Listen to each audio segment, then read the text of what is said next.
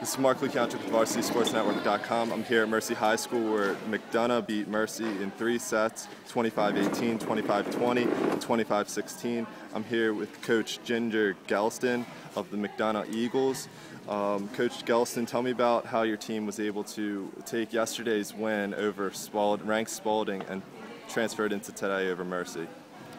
Since it was the first time we beat Spalding in about 10 years, we were able to come in with a lot of confidence for today's match.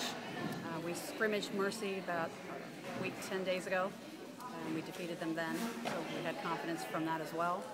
Uh, even though we didn't serve well today, we did serve receive and played good defense. Now, um, a lot of a lot of the good hitting was um, was thankful for the was thankful to the great passing.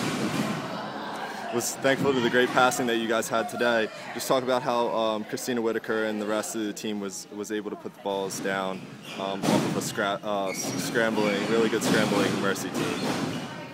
Because even though when uh, we, wasn't good,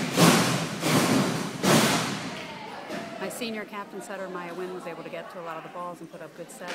She's a fourth year varsity player. Uh, first two games we ran a 6-2, and our other setter is also extremely quick. She's a track star and could get to any bad passes. Now talk about from here on out to stay undefeated. Uh, what you guys need to do to clean up um, things from today. Uh, we need to serve a lot better. We did have some aces, but we had a lot of errors today.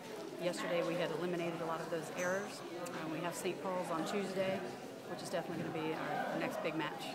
All right, thank you very much for coming on. Again, once again, I'm here at Mercy High School, where McDonough beat Mercy in three sets, 25-18, 25-20, and 25-16. Um, I'm here with Ginger Gelston, the head coach of McDonough. Thanks for coming on.